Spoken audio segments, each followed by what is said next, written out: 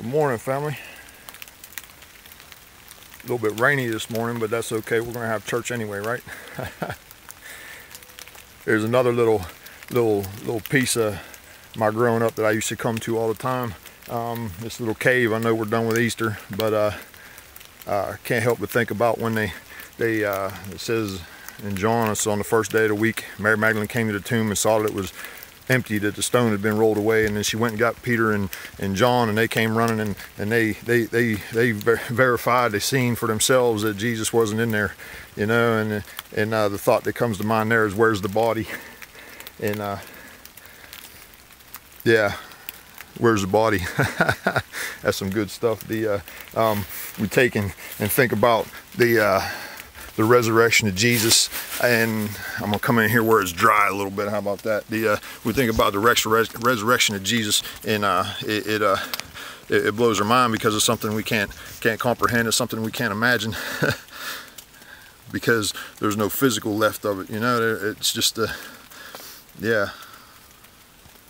I praise God that we serve uh, a risen Savior, that we don't have a tomb to go visit to memorialize uh, who He was, because uh, Scripture says He was and is and is to come.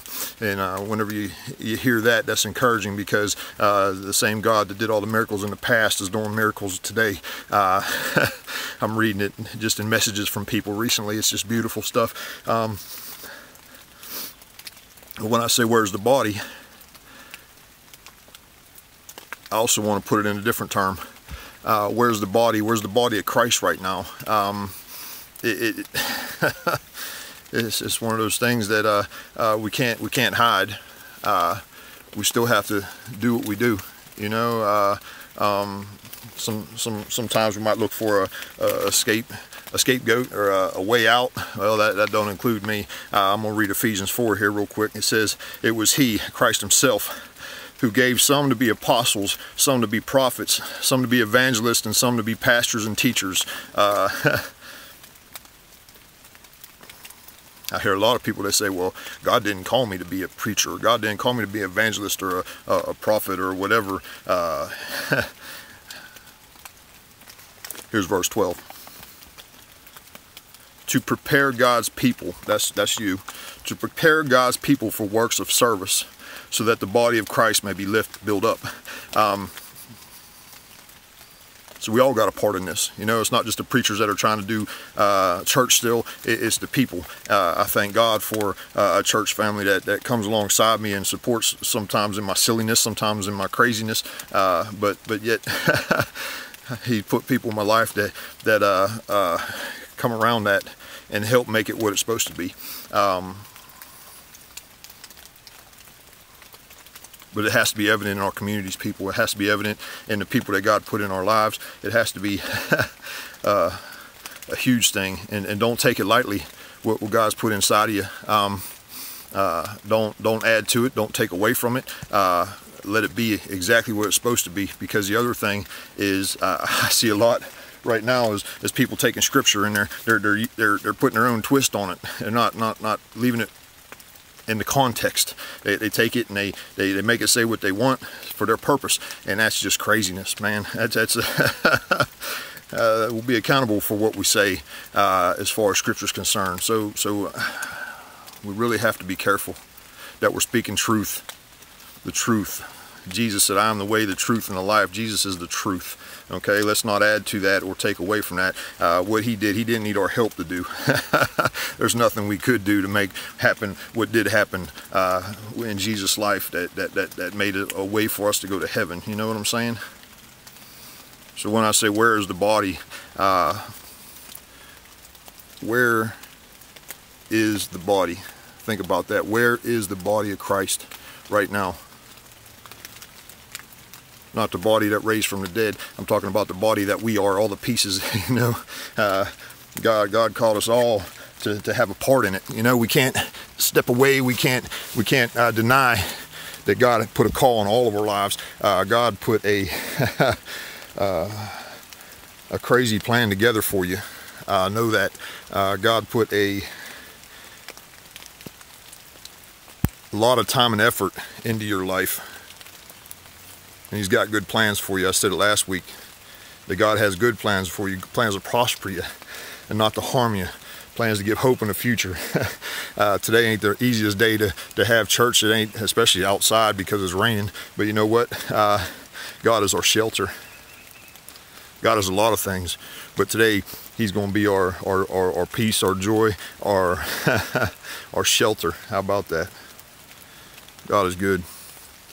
You know, I don't know where you're at, where you're going to be at today, how, how you're going to have church uh, with your with your family, uh, where wherever it's at, however it is. Uh, just enjoy the Lord today.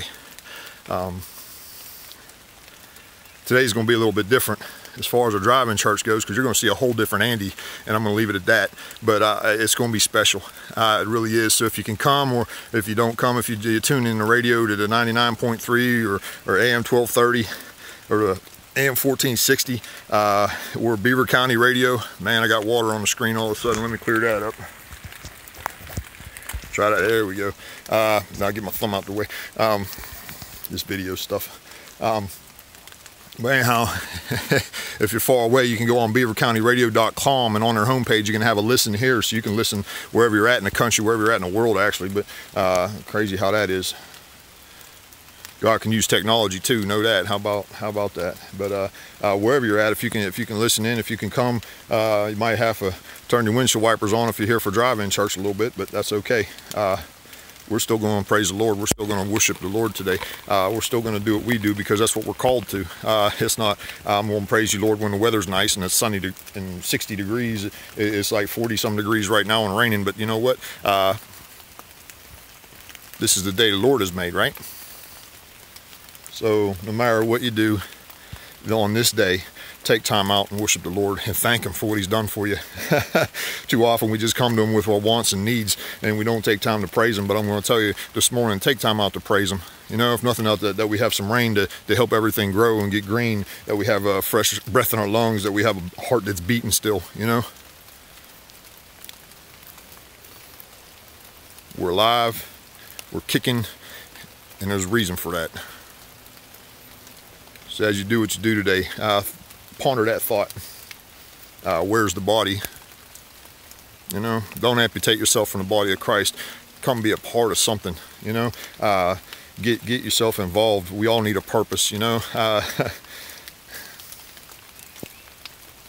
life's not meant to be spent separated from people. I, have heard that a lot this week that people been social distancing and staying at home and quarantining and everything, and that's that's that's that's important right now. I get it, but at the same time, I'm hearing people being crushed by their loneliness, people being crushed by their their uh, their, their, their, their, yearning for. Uh, uh, some kind of relationship with somebody. You know, I mean, just to have a conversation in person is, is a is a valued thing. It's like a treasure right now to, to have a conversation in person with somebody and and uh, know that uh, you have God Almighty. That's why we were created to have fellowship with the Father, to have a relationship with the Father. You know, that, that's wow if you can hear that this morning, if, if you can believe that, you know, I'm not I'm not here talking about something that I'm doing. You know, I'm talking about what God's doing, and, and what God's doing is is is he's, he's bringing us back to Himself. There's some more raindrop. Bang house, it's, there's my thumb. And once again, I'm getting wet here, so I'm gonna I'm gonna get off this hill and uh, go get ready for church. So, uh, family, uh, I love you. Uh, hang in there keep at it. Don't stop now. None of that stuff. And uh, keep pressing forward. God's got big stuff in store for us. Amen. Love you, family. God bless.